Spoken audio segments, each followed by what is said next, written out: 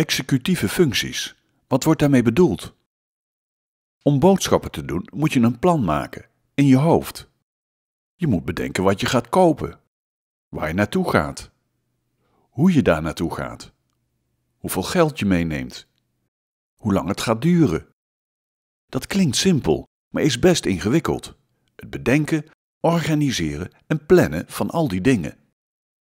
Onze hersenen zijn normaal in staat dit proces te organiseren en aan te sturen. Stap voor stap voeren we het plan uit.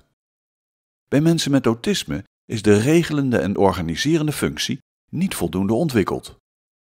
Ze kunnen zich moeilijk voorstellen welke stappen er nodig zijn, hoeveel tijd het gaat kosten en hoe je een plan maakt. Een kind met autisme kan bijvoorbeeld grote moeite hebben om ochtends op tijd klaar te zijn voor school. Een eenvoudig stappenplan op papier kan dan helpen.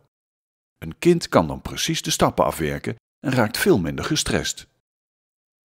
Onderzoek toont aan dat mensen met autisme in de regel minder werkgeheugen hebben, minder strategie om te plannen en minder flexibel zijn in hun denkprocessen.